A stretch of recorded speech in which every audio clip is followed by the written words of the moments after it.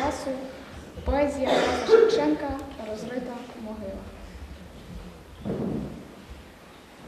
Світе тихий, краю милий, моя Україна, за що тебе сплюндровано? За що, мамо, гинеш? Що ти рано до схід сонця Богу не молилась, що ти діточок непевних звичаїв не вчила. Молилася, турбувалася, день і ніч не спала. Малих діток доглядала, звичаї навчала. Виростали мої квіти, мої добрі діти. Панувала і я колись на широкім світі. Панувала. Ой, Богдане, нерозумний сину, подивись тепер на матір, на свою Вкраїну, що, колишучи, співала про свою недолю, що, співаючи, ридала, виглядала долю. Ой, Богдане, Богданочку, якби була знана, то відразу б задушила, під серцем приспала. Степи мої запродані, жидові, німоті, сини мої на чужині, на чужій роботі.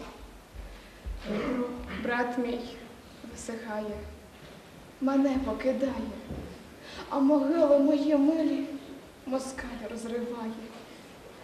Нехай риє, розкопує, не своє шукає. А тим часом перевертні нехай підростають та поможуть москалеві господарювати та з матері полатану сорочку знімати. Помагайте, недолюдки, матір катувати. На четверо розкопана, розрита могила. Чого вони там шукали? Що там схоронили старі батьки? Ех, якби то, якби то знайшли те, що там схоронили. Не плакала б мати, діти не журились.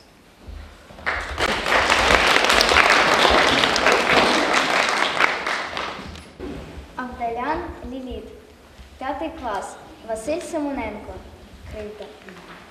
У Івася немає тата. Не питайте тільки чому. Лиш від матері ласку знати довелося хлопчині цьому. Він росте, як і інші діти, і вистрибує, як усі, любить босим проглотіти, по ранковій колючій росі. Любить квіти на луках рвати, струвати лука в лозі, по городу галопом примчати на обуреній гнівній козі. Але в грудях жаринка стука, є завітне в Івасі одно, хоче він, щоб узяв за руку і повів його тата в кіно. Ну нехай би смикнув за вухо, хай нагримав би раз чи два. Все одно він би тата слухав і ловив би його слова. Раз Івась на толоці грався. Раптом глянув, сусіда йде. Ти пустуєш тута?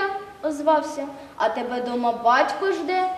Біг Івасик, немов на свято, і вибрикував, як лоша.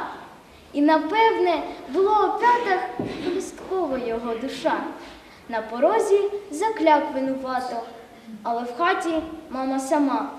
Дядько кажуть, приїхав тато, тільки чому ж його нема? Раптом стало Івасю стидно. Раптом хлопець увесь поблід. Догадався, чому є хидно, захихикав сусіда вслід. Він допізна сидів у коноплях, мов уперше вступив у гить. З оченят від плачу промоклих рукавом витирав блакить.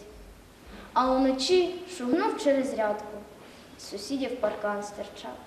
Вибив шибку одну з рядки і додому спати помчав.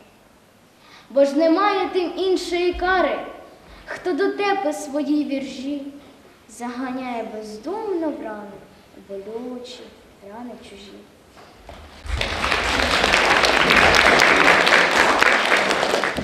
Я наш Вікторія, учениця 8 класу, Галина Кузик, мама вчителька.